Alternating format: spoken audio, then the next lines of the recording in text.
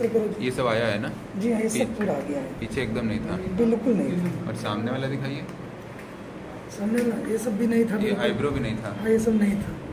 ठीक है।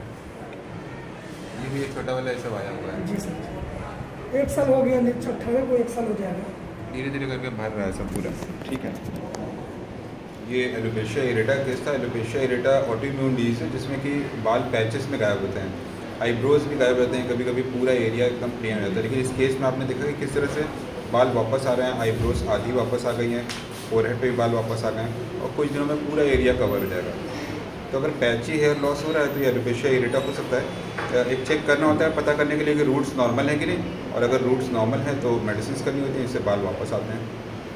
तो अगर आपको इस तरह की प्रॉब्लम हो तो डॉक्टर तैलन को विज़िट कीजिए, या फिर अपने फोटोग्राफ्स व्हाट्सएप कीजिए। आप ऑनलाइन ट्रीटमेंट भी ले सकते हैं।